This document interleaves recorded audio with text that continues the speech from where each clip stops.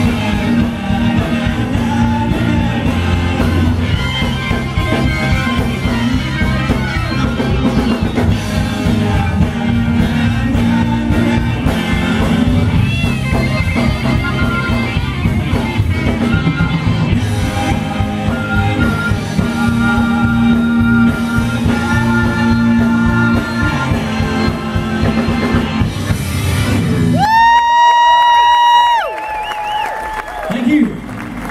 Once again, Pauline Zizak on the bass, John Hartman's on that amazing keyboard.